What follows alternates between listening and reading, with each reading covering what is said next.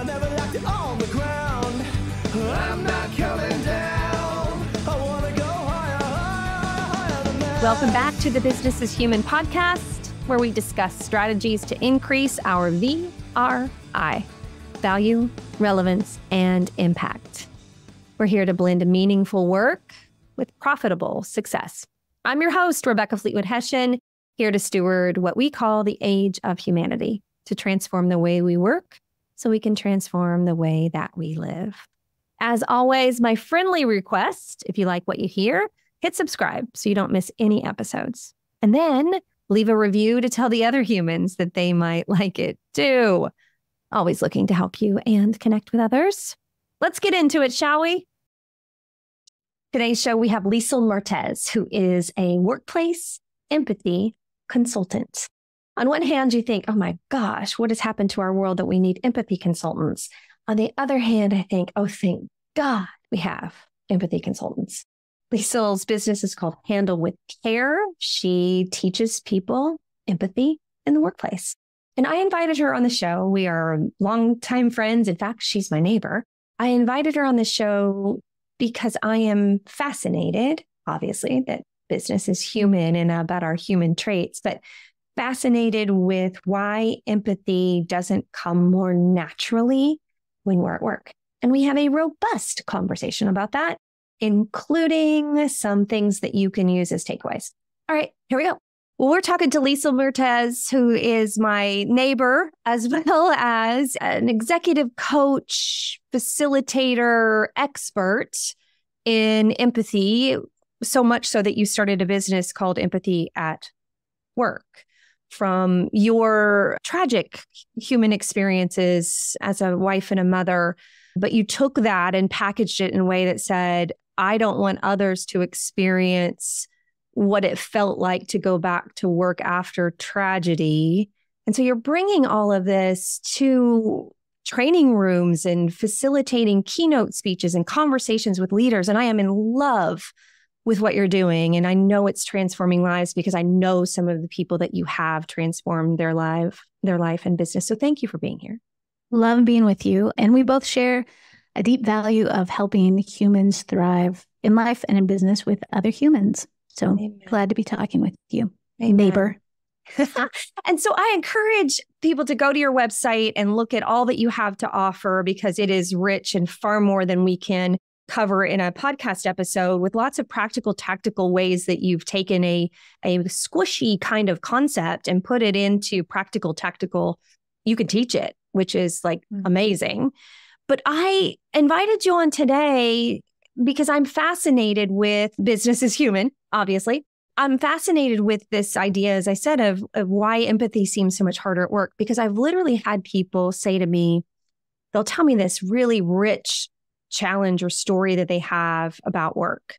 And they'll just say it to me like it's, you know, we are just talking. You know, I'm a coach. I'm not the one who pays them. I'm not, you know, work together. Mm-hmm. And then they'll say, well, how do I say that to either my boss or the person that I want to go talk mm-hmm. to? And they've said it to me in a very human way that I'm, you know, they're explaining it to me. And I'll say, well, what about the way that you just said it to me? Hmm. And they pause and they look at me and they go, huh, I guess I could do that, couldn't I? And I'm like, I think so. But is there something about that person or that environment or that whatever you're experiencing that's making it difficult for you to bring that human conversation into that? And so I want to talk about why empathy is harder at work than it is at home. Mm, that's a that's a great example, and I do have some of my own thoughts on it. But as you're seeing it in your clients, what is your leaning inclination that makes you think, "Huh, this is happening"? Because of do you see common through lines that tend to crop up? What's difficult for me is I don't know the other side usually. Now, sometimes I'm working with teams and entire organizations, and I have greater context of the environments that they work in. And then I can guide, it's easier for me to guide, right? Mm-hmm. Um, and when I don't know that, I have to just ask more questions. So, so I, I first start out by asking, do you feel unsafe mm. having the conversation? Is there something about the environment that says, if you speak like this, you'll be seen as Mhm. enter fill in the blanks weak soft not businessy enough whatever it is so I, th- that's the first place that i go and then and then the second place that i go is is it just that you've never done it before therefore it feels uncomfortable Right. patterns of the past guiding our future and those are really the two i think that surface for me immediately when you ask me that question Yeah. As you share, it strikes me that there are two sides to the equation. One is with the people you're talking to in a coaching context. Are there blocks for you? Are there reasons why you don't feel comfortable sharing? Some of those could be cultural. There is culture of origin, but workplace culture. Mm-hmm. Some are specific to, I've tried to do this before and I've been horribly burned. That person is not trustworthy because the other side of the equation is the context into which they are sharing, both organizational and the person on the other side of the conversation. How do they, before a moment of conflict, before a moment of disclosure, show that I want to be a place that can receive mm. what you bring? And that's that's a lot of where I do consulting and work is how do we create because sometimes sometimes they can all land back on the person who has the problem, the person, you know, that's with air quotes, the person who has the issue. And it is important to coach them up and, and how do they say things, or even in areas with questions of race or equity or access or bias, people from this minority position, how do you position yourself well? How do you say it well? And thinking, how do we have a culture of trust where people think, you know what, I might not do it perfectly, but I'm going to show up with Mhm. this. And cultures aren't knocking it out of the park on that. And part of it, as we mentioned at the top, is we really reward getting things done and just moving through checklists. And especially in high churn and high pace environments.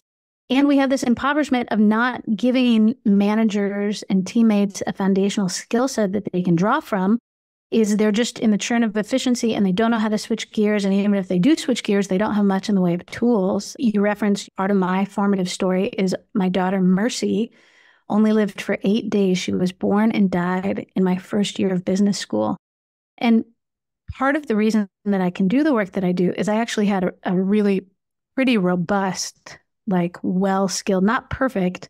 There were still some people who said some really tone deaf, like dumb things, but I had a lot of great people, both at the Kelley School and in my personal life that showed up, but also looking structurally and being like, we're not training on this. This is a, a two year program where we're getting into a lot of nuance. We're talking about in granular detail how to scale people up. And we didn't talk about it at all over 2 Mhm. years. And it's changing. I do work now in business schools, but there's a lag that is catching up to people. They don't know what to do in those situations. How do we scale them up? I have a, a real heart for the matter of, like you said, the industrial age model was very much based on efficiency and what you can get done and quality movements and measuring how much productivity in a period of time. And so, this idea of pausing and having a human empathic moment seems counter to that. Agreed. What if, and I've seen it, and I'm sure you have too, that industrial age model of work became so ingrained in us that we couldn't even have the empathic moments at home when we needed them because work so firmly shaped our belief system about who we are, who we were. Mhm. And I hear that from friends and clients and my kids, where they talk about people's parents or their parents who have never had, and I didn't. I, I grew up like this. I grew up in a family of farm and factory workers, and we didn't have emotional conversations unless it was anger or hostility. Right. And and it wasn't that there was a lack of love. There was a lack of ability to have that. And so i believe that work has the power to change the way we live because we are already ingrained pretty heavily in our mm-hmm. belief system being tied to our work. So if you can get around to the whole world pretty quickly and teach everyone about mm-hmm. how to do this. How to do work differently. we can Well, we change have- the world lisa. It's all We uh, just can. let me know when you when you're all caught up with it okay. Well, you know, it's um people come the image I like using is it's like workplace first responders, the same way EMTs show up and their goal is to help stabilize someone to a next level of care. In the social and emotional realm, we can help be stabilizers. You don't have to take on the burden, and you should not, of being counselor, of being prescriber, of being rabbi or pastor or a mom. Have a basic skill set just like a paramedic. But what you said is we we come preloaded with the values of the time, with our formative experiences with those farm workers or their factory workers, with the cliche that somebody told you that God just needed another angel. And that's the only thing you know how to say. And you trot it out every three years because you're doing your best. And just Somebody to do an inventory. to you? People say, yes, someone has said that to me. a And- child, they and people that? say that to people all that this is the cheer up Cheryl when Oh, I yeah. help teach people about empathy avatars. And actually, who knows if someone is listening to this podcast two years from now in 2026, I think we'll still be noting the industrial revolution, but we are rapidly moving into the age of the primacy of human centric skills because anytime we talk about artificial intelligence, we are by necessity talking about what are the human centric skills that we cannot optimize or upskill or offload because humans are going to demand them from other humans. And we have had a paradigm of increased efficiency. And that's why you go into math and engineering. And that's how we do things. That whole thing, there's a massive realignment. Like computers will do it better, faster than many a job. And what we will hire on, what we will promote, what we will pay at a price premium for is actually people who deliver on the humanity that the AI can't deliver on. Mhm. And it's very exciting. Mhm. I think so And too. it's a perfect reason to be skilling up in the things that we already would equip us to thrive both at work and in life. Mm, But it's under threat because actually, I was just doing a talk on this earlier this week. The fact that we all have our phones that we're constantly looking at actually keeps decreasing our ability to do things like read emotions and look at granularity. And I was just reading a research study that was saying they, they took a group of sixth graders and um, they ran them through a test of just looking at human faces to be able to denote emotion. And they did middling to poor on it. Then they all were going to this five day retreat where they were going to be away from their phones, away from any screens. They're doing swim time and capture the flag and time around the fire. And in just five days, when they ran them through a similar battery of tests of just your ability to read another person, their like skill level and competency increased by something like 50%. Actually, we've had thousands of years of developing as these highly evolved herd animals that we are to be able to read other people. We're stymieing ourselves with our technology, but it's a fascinating dynamic that just as it's becoming more important than ever, we're kind of hamstringing ourselves and we can really lean into the practices and the training that make us better at these things. I'm encouraged by the quick response of it only being Yes. five days. That's I know. that's hugely encouraging because Right. many of us parented at a time when we didn't know the detriment of these devices to our our loved ones. And so now my kids are 22 and 26. I can't go back and fix it or change Right. it, but I can now start to share and I have been sharing these types of stories and the evidence of how this is impacting their nervous system and their ability to really engage in life in the way that we were Right. designed to do so. Oh, we're that's we're really wired encouraging. we are wired for connection and as much as the brain can be harmed and can take in difficult like the brain can heal the brain can grow especially towards relationship that is safe and affirming that's how we always grow I am also encouraged by the more people, parents especially, become aware of this dynamic.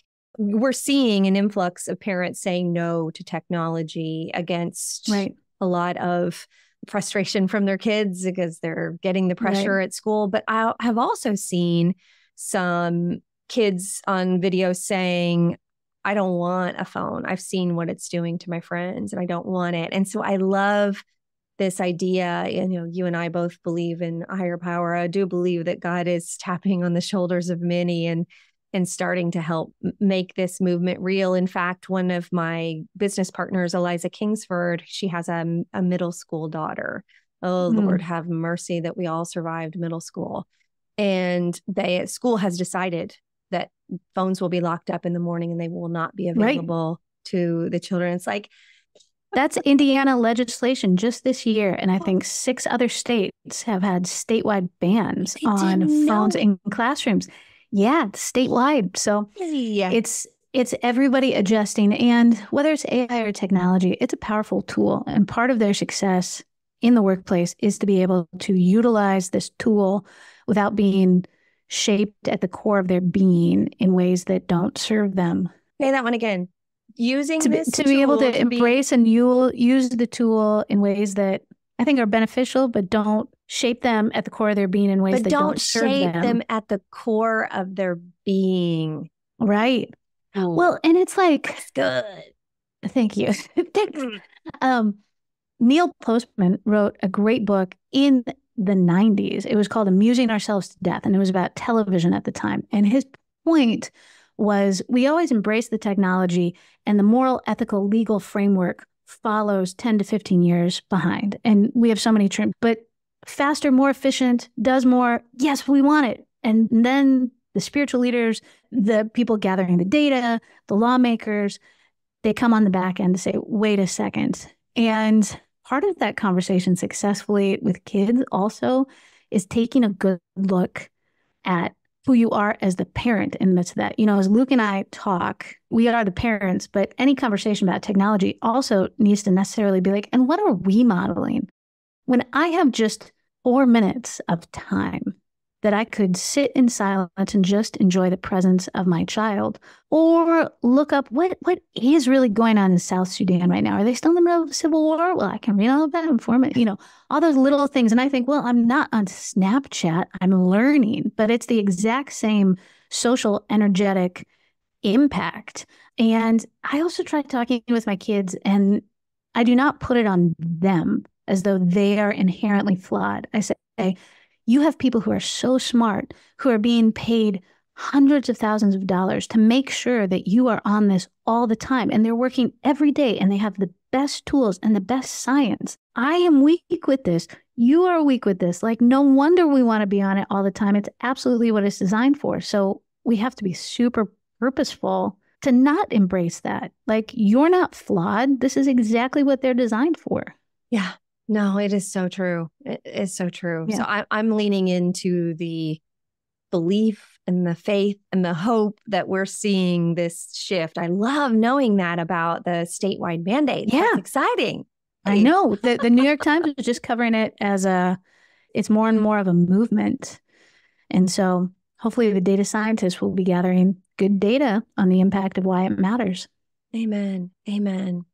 Well, let's let's bring that back to the why empathy is is difficult at work. So work and Hmm. life are and I've always said this, they're intertwined. So sometimes I'll say to somebody, "How are you?" Like one of the practices we do in my coaching practice is we start every conversation with what's your number and it just gives me a little bit Mhm. of a gauge on where we at on scale 1 being the pits, 10 being bliss, 5 being meh, and then I kind of can read like what are we dealing with here today and then I watch for patterns. And so it's a it's a practice. And inevitably when I first start working with people, they'll say I'll say what's your number? And they'll say personally or professionally. And I'll Mhm. say, well, this is our first bit of teach because Right. you are one person. You go to work, you go home. We don't get to separate our identity really between work and home. And so it's that first teach of realizing that everything that happens at work does really go home with us, and everything that happens at home really does go to work with us in some way. Either it's spinning in the back of our mind, it's impacted our moods, it's dysregulated our nervous system, it has heightened our sense of safety and awa- all of it is just a human experience. And so Mhm. if we've got this work and work is impacting a home and home is impacting work, what can we do at work that starts to bring empathy more to the forefront that may be able to shape us more at home because right. I, I do think that there is a large number of people that have been so shaped by work that starting there might be a, a, a better path. Yes. Well, I, I like what you do of um, a check in at the beginning. That's not just for coaching. I would say one of the stickiest things that I do in every facilitation session that I have is I talk about the stoplight check in, which is what energy are you bringing today? Are you red, yellow, green? And just equipping people like start all of your meetings with this. It's so easy. It can be as high level or as low level, this, but also it's a cue for you to follow up. There's always a power dynamic that exists in these conversations. If you're on the top of the power dynamic, somebody says they're red or yellow, follow up with them afterwards. Hey, is there anything you want to talk about? No, you said you're red, yellow. Also, there is follow up, not to and in a room Yes. full of people. Yeah, Ask a You- red to talk about their yeah. You don't do it right in the middle. Oh, you're red right now. Do you want to let us? Do you want to talk about that? afterwards. It's also a great way to seed a little bit more humanity into it. Again, especially if you're at the top of a power dynamic, because this always exists. And I'll talk a little bit more about that in a second within standardized norms that we've just taken on almost like a second skin with expectation. And there are so many studies that show that the higher up that you get organizationally, actually, your empathy decreases based on self reporting and actual hard data. And some of that is you've had to make hard decisions, it's lonely at the top. You think you had to struggle, so why don't they? So it's not just your perception. In many places, that's real. And to say, especially when you're at the top, whether you're you're only middle management, but you're still at the top of that meeting, to be able to have not leaky sharing, but just a little bit more humanity. You might say, leak? I'm what's yellow. sharing. that's oversharing. So I could say I'm yellow because all my kids went back to school last week and I had to I had to buy so many new pairs of shoes and I don't know if I have the right folders and I have the wrong highlighters and the eraser was too big for my fourth, you know.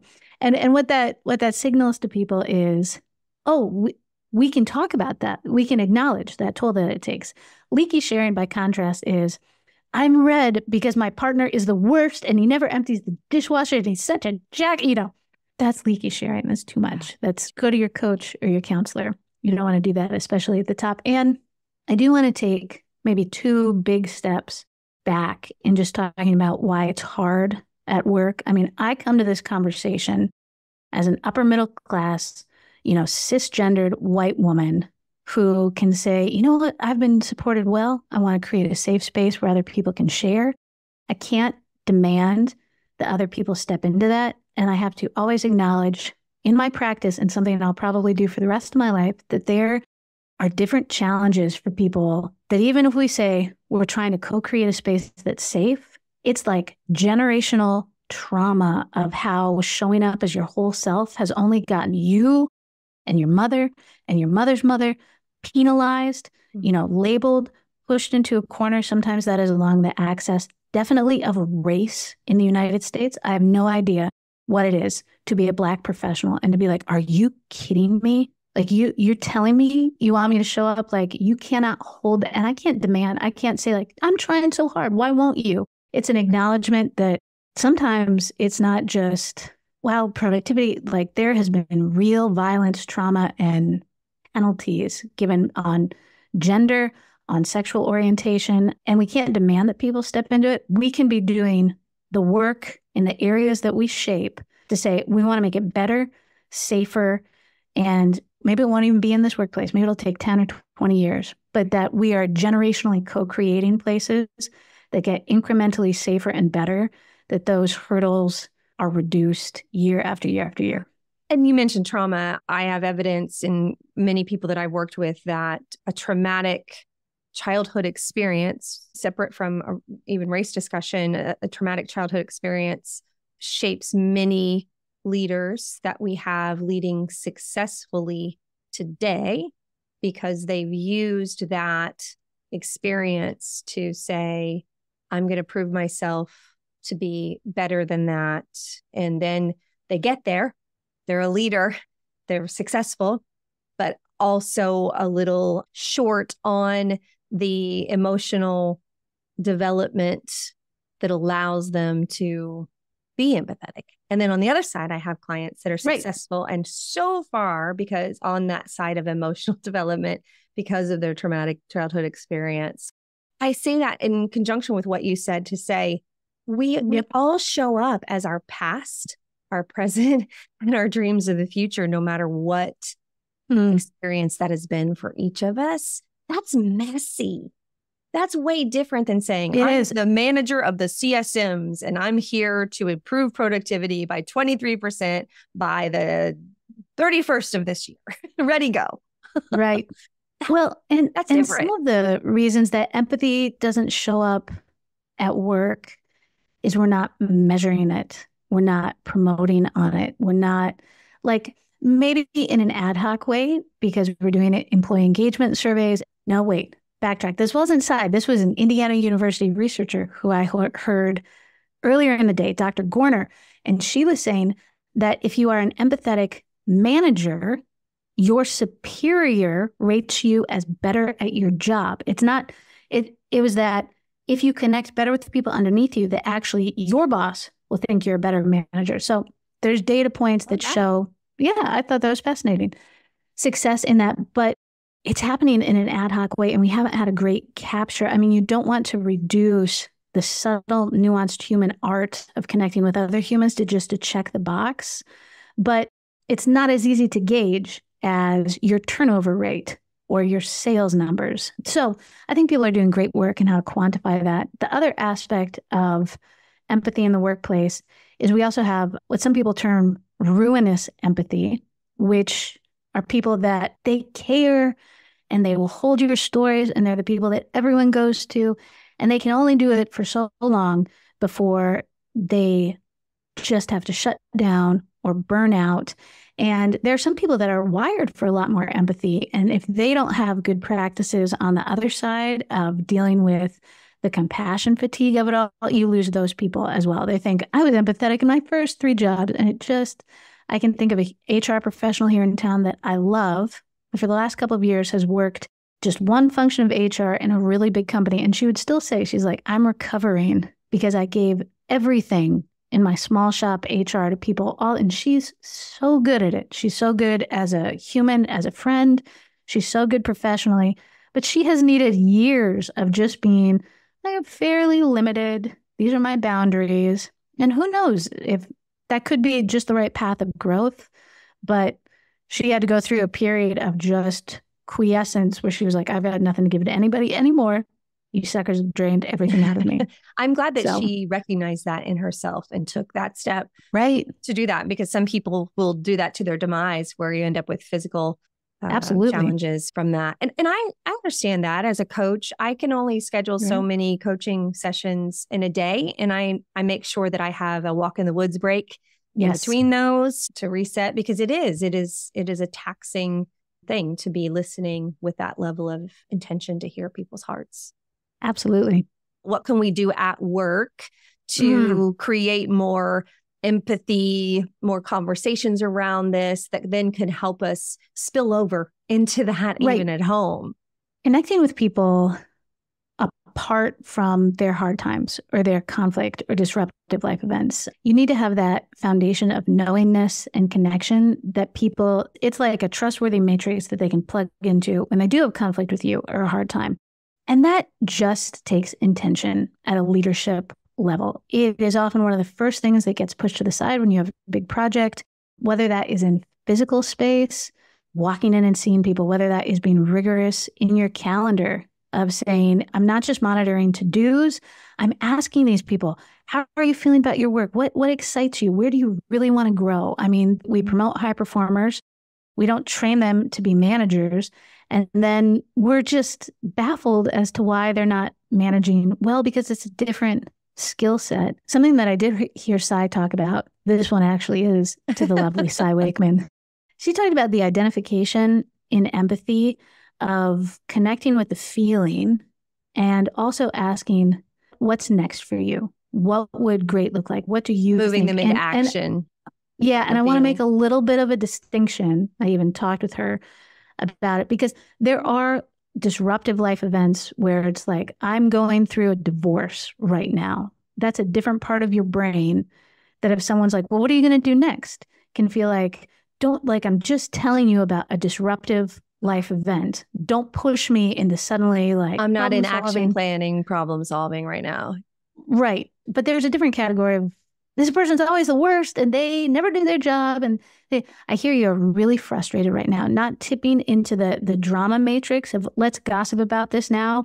You're gonna just vent for the next 20 minutes, which can oftentimes be really organizationally toxic. Mm-hmm. But to be able to get the high level structure, what has made you feel this way? What are you feeling? And then what thoughts do you have about what comes next? Then I'm not trying to fix it. This is the Fix It Frank that I talk Right. about in empathy avatars. Here are all of my suggestions because that short circuits actually your own problem solving skills, which as a manager, I want you to develop because our goal is not to do the same song and dance every time you have an issue like this. And as a human, we want that. So when I was talking Right. about things at learning at work that spill over into home, we would do well to not fix everything for our children. I, I talk about that Yes. a lot in my work with ADHD children. And then in my book, I wrote about the fixer because that's inefficiency. We want to just Right. fix it and move on, tying back to what you said earlier. Yes. So that, like, if I just do it for you, it's going to be Right. fixed. And that's And not I- helpful. And I have so many good ideas. You know, Mhm. if I'm honest, I'm like, I have so many good ideas for you. But So stopping what- that what would you do? yeah, and asking them right. what would they do. and sometimes people have great insights that I've never thought about in the 20 seconds that I've pondered the problem. And and you know, maybe especially with children, maybe that I'm gonna hit him. Okay, let's keep Well, that's an keep option. Let's talk about the consequences. That's, that's an option. And then following up on the backside. So someone goes off from you in the workplace. They've talked about what they're going to do. Then as a manager, you also want to try to close that loop. End of that day, the next day. Hey, what did what did you learn about yourself as a result of this? What did you learn about when things like this happen in the future? And again, I'm not interpreting it for them.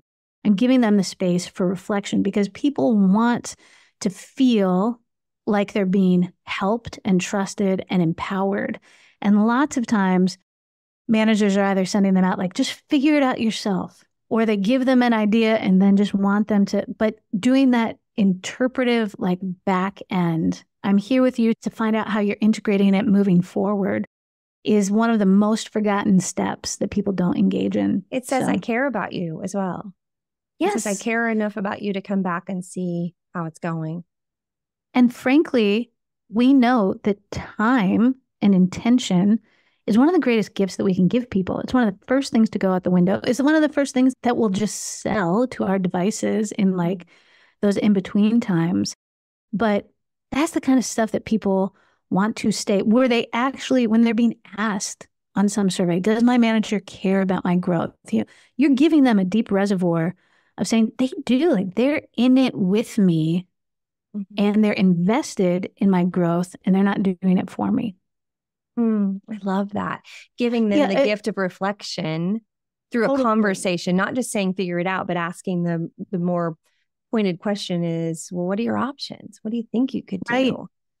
And in my work, I really like talking about these empathy avatars, which give people a lens in which to see where they tend to go off the rails. So, having that language, which gives you some identification and psychological distance. Oh, I'm a buck up Bobby or Barbara, or I'm a commiserating Candace. You know, when somebody comes to me with their stuff, I'm trying to identify, but I'm going to just take over the. I know exactly how that happened to me and all kinds of. And just when you know where you tend to shunt, Mhm. it allows you to be more purposeful. I will be a commiserating Candace or a fix it Frank all day long if I'm not aware. I have to really purposefully think and coach myself. It's still your time to listen. Like, don't jump in with your own story. Don't jump in with a suggestion. I purposefully say things like, tell me more a lot, because I know that I just want to rush in and I will too early. And even when I think it's the right time, it's probably still too early. So I, I've developed my own like private stop gaps that happen just in my head to be like, this is where you normally go off the Right. rails. So Yeah. I think Let's- that's self awareness. Let's walk through those avatars. And self awareness, oof, that's a whole episode in and of itself as a starting point for this, right? well, I'll note that for future. Uh, Life, walk lifelong practice. walk through the avatars for our listeners. Yes, I'll start with some of the most common.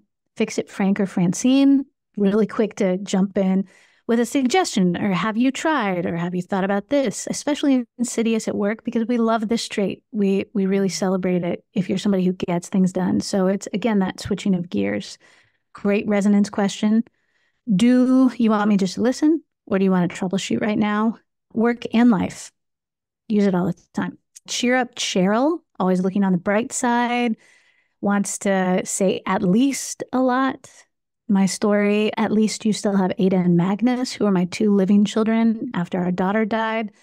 And uh, it just causes somebody to think, like, I'm not talking to you anymore, or I've just got to paste on a smile. And for the cheer up Cheryl and with a number, just acknowledgement is really powerful. What people want more than anything is to feel like they're seen and their reality is grasped. And it seems so basic, but even just listening for emotions and saying it back instead of like, well, you're so strong, you'll be okay. Just say, it sounds devastating. It sounds so sad. And someone will go, it, it like I have been heard. Commiserating Candace, who we mentioned, rushing in with their own story, really practice radical silence. I'm going to lean in, I'm going to say, tell me more. Uh, one of my Bobby one of my old colleagues used this. She didn't know this about herself that it was that was her avatar, but she knew it enough about herself that she would take a piece of fruit into the meeting if she knew uh-huh. she really needed to listen and not fix it. And you know, obviously, you can only do this if it's a friendly meeting. You can't just yeah. walk in with strangers with an apple or a banana. But she would say, if my mouth is full and I have to chew on the apple, I'm less likely to interrupt and say things. And, and that's great. sit and listen. Right? Isn't that amazing? Yeah. Well, I, I like it. Sometimes our stuff only lives in the life of the mind and in the reality that we are embodied. Like that's a very embodied cue. I can't, I'm not just thinking about keeping my mouth shut. I gotta keep chewing. Keep going. That's great. uh, Buck Up Bobby or Barbara, very task focused. It's a little bit like Fix It Frank, but um, they're the ones that it's just so hard for them to shift out of efficiency mode. Yeah, I mean, at its most brutal, they'll be like, Why are you even telling me this? There's a job to do. Let's just get back to it. And realizing for them, the growth path is that emotions and productivity don't have to be binary. It's not one or the other. And in fact, actually, when we get back to people just want to be seen and responded to, simple acknowledgement, it literally, if we we're talking at the level of brain science, of reintegrating the, the amygdala and the fight or flight with your cerebral cortex, which is what you want free flow of information between like the the survival and the cognitive part of the brain that empathetic resonance activates our mirror neurons that helps get that part of the brain back online. Even just talking to them about the science like it doesn't take that much. If you want them to get back to producing acknowledge it and don't just bypass it amen joking julie sometimes known as jackass jared uh, humor is great. Humor is such a gift. We need to laugh more. You can be a great colleague and really funny, but it is so hard to stick the landing when it is in the midst of these really fragile human moments. You really shouldn't joke and don't do it to yourself. A lot of times, these people, if they do ever share something vulnerable, they automatically undercut it with some joke about themselves and how that also short circuits you being able to receive care. Defensive Dennis, that oftentimes shows up specifically at work where somebody comes with something, you know, maybe a little bit like what you were talking about at the beginning. This coaching client who has to go to someone, if your response to someone's need, fragility, hurt, sometimes it is implicating you. And if your first posture is always, well, you don't understand, or that wasn't my intention, you will shut down communication so fast you might think because I'm a workplace empathy consultant that I'm particularly good at this, but I have really had to just receive coaching and coach myself because I so desperately I try really hard and I want people to mirror that back to me all the time. And I feel like you're saying I'm doing a bad job. I want to tell you the 20 ways I've been working so hard and you haven't even seen. And I just like I see the carnage that and how it becomes a fight when it doesn't have to be. Thank yeah. you for sharing that with me. I'm really going to consider that. Can we talk again about it? You know, if you can't do it in the moment, it's okay. But to tell people, let's let's talk about that tomorrow. I want to mm-hmm. integrate it. You know, I think that's most of them. Those are those are the big ones. Interrogating Edward, tons of questions. Mm-hmm. Sometimes these are people that they are. Sometimes it's even people on the spectrum of neurotypical that Mhm. emotions are hard for them to read. They're hard for them and they respond with a lot of questions. And well, why did you say that? Have you ever it leaves the other person really feeling like they're being interrogated Mhm. and thinking about what's the one question I have? What's the one that's really important? What is the emotional mirroring that I can do within my capacity? Even just thank you for telling me that before you just jump into, I don't understand. Why did you say makes it a softer landing place for the other person? Oh, that's good. That's good. And when I hear all of those, which again, Mm-hmm. I love how useful and helpful Mm. they are, right? To be able to look to read that description, and most people have a high enough level of self awareness to be able to go, "Oh, yeah, those two are my tendency," right? And then to develop an awareness in the moment back to that to say, "Okay, what am I going to do to not lean lean towards that Mhm. particular avatar that's my preference, my flavor, if you will?" And as I Yeah. look at all of them, the underlying purpose and this is more this is I stated it like a fact, but it's a question to you. So is the underlying hmm. purpose to keep an mm. exchange going versus inadvertently cut it off? So we're looking hmm. for a free flow of exchange of information, communication, emotions, acknowledgement. And for each one of those avatars, there's something about it that cuts off. Like if it's a garden hose that's supposed to be letting the water come both ways, something about each one of those cuts off the water supply or air supply or something that says we're no Yeah. longer exchanging because we are wired for connection as we've as we've said as humans so there's something about each one of those avatars that stops the flow of of us being Mhm. humans together is that fair like i just that just came to me as you were Yeah. describing them I like some of the dynamics of that metaphor. It's a great question. What are we trying to avoid? I think what we're trying to avoid is someone shutting down and saying, I am never going to share something like that again. You know, that's an agreement. Our brains want to make sense out of situations and protect us from pain. I have encountered this in modalities of marriage counseling that I have gone through with my husband, which is why we're still married. Super helpful. But these things mm. that happen early on when you're married, I, I can remember one time we unearthed this in counseling. I'll get back to your question, but we were living overseas. We had gone to live for a year in Nairobi. We're doing microfinance development. My husband was super excited to head over, like in transitions. He's super excited. And I'm like, oh, the things we're leaving behind. And then about two weeks into it, he has come back or closer to reality. And I'm like doing great. I'm like, look, this is so great. So it you has just so caught up with exceeded my expectations. Yeah. So Yeah. so we were on that curve. And there was a moment where he told me, and he is he has a ton of internal strength, really self-possessed. There's spectacular qualities about him. But he's telling me we've got to go home. And he's someone who says everything he feels really strongly. We've got to go home. I can't do it. And for me, I'm just trying to get to our next meeting with my little baby in arms. And I go, What are you talking about? We can't go home. We just got here. We're supposed to be here for a year. And then I'm like, We have to get to the meeting. And so I leave and he doesn't come. And by the time I come back, I can see he has been crying. And I'm like, What happened? And he goes, That's fine. No problem. We'll stay. I don't want to talk about it. And what we realized was there was this moment where he was like, I made a bid. I needed something from her, and she just shut me down entirely. We Mm. can't go home. What are you talking about? And the way he interpreted that was, I'm not ever going to get the support that I need if I'm vulnerable. Mm. And you know that that is something that we have really worked hard to build different practices. But that that was a belief that stretched through like a decade Oh, and that sort of stuff happens so easily at work. You have so much less on the line. People are trying, you're doing that all the time. And if somebody shares something with me and I mishandle it and they say, I'm just not going to share anymore, I am depriving myself as a manager of valuable information because you might think it's a little bit of a burden to emotionally, but it really is. It's human. It's also good information as to Mhm. why they're performing the way they are, what could help them. You don't want to deprive yourself of that information flow Right. and that human connection, which is why people stay or not.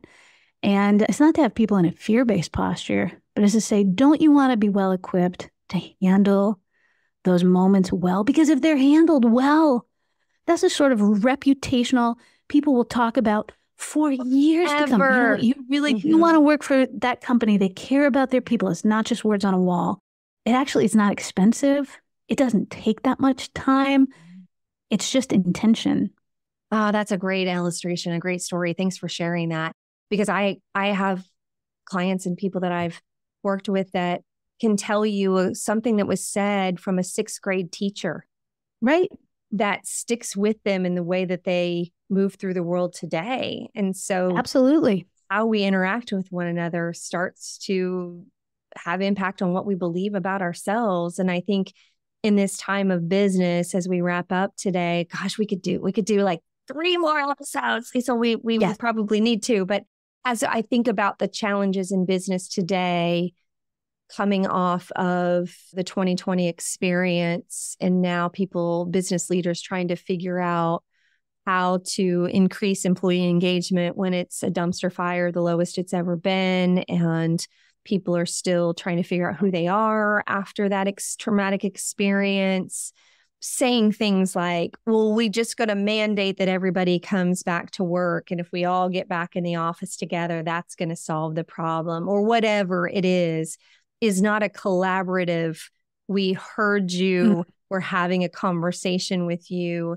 And I think this efficiency, productivity, we just got to get back to quote unquote work and be productive again is shutting down all of people's need to be seen, heard, felt, understood. But let's just set our bar reasonable and say if we just did a little more of that, I think it people would just be shocked at Right. the, the positive impact that comes from a little bit of empathy. Of why people want to stay, also of why people want to buy from you. Sometimes people act like, oh, it's, this is an HR thing, it's an internal thing. You know who can be really good at empathy? Marketers and salespeople and customer service. It's not just an internal thing. You get good at this, it is going to keep having a virtuous overflow. Or maybe you're bad at it internally and you think nobody's going to buy into this. You start talking language and being like, this is what you already do when you're marketing or crafting the customer experience. It's not even a language we're accustomed to, it's just deployed without balance in our organizations. So, Which, which is why when I work with clients, I have one company story that hmm. illustrates who you serve externally and Right. how you're going to serve internally. I don't buy Yes. into that value proposition for sales and mission, vision, values Right. inside. We are one company Yeah. serving a- in outside and inside, and one story is going to illustrate both. And I your first customer is your employees, Yeah. first and foremost. Then they get to overflow that experience to the next customer down the line, amen. depending on the complexity of your organization. You could have lots. Oh, girl. So- How can people get in touch with you? Because I would love for listeners to Mm. call you and say, come in and talk to us about this keynote Yeah. class. Please, I mean it when I say go out and, and teach the world so we all can be better for it. How how can I get a hold it. of I you? still, I still have space in my schedule. So, Handle with Care Consulting, you can find me at lieselmertes.com. So that's just my name, but all of our offerings are there. I have half day and all day events that I do. Those are great first touches for people to come in, to get their feet wet and learn a little bit more. The bulk of the work that I do is interior to companies. I will do a one and done. It's always great to start somewhere. Some of my favorite ways to work and see impact are with some bundled trainings where we have survey data and we touch on changing compassion fatigue and how to cultivate fortitude, and you learn your empathy avatars. And uh, we've got an online course that's dropping in October of 2024. So people can do it in a self paced online way as well. Oh, that's exciting. Okay. Yeah. Excellent. Well, we'll include a link in the show notes. Uh, you put out fabulous content on LinkedIn. Mhm. I highly recommend that people follow you on LinkedIn. I always love the way that you incorporate a really profound message in a story. So it's Mhm. it's not your typical businessy kind of talk. You you do a great job of storytelling and tell how to do this in a beautiful way. So thank you for being you, for Thank you, answering Rebecca. the call to do this kind of work. It's changing lives, and I appreciate you. I appreciate you. See you on the trail. coming down. I never left you on the ground. I'm not coming down. Thanks for listening to this episode. I would love it if you would go to Apple Podcast and leave a rating and a review. And then you can go to RebeccaFleetwoodHession.com and join the Badass Women's Council. And if you really want to take a deeper dive, join the movement of a thousand thriving women. There's amazing Thrive tools there for you today. Love you, mean it. I'm not coming down. Hey, y'all, fun fact if you like the music for the podcast, that is actually my son, Cameron Hession.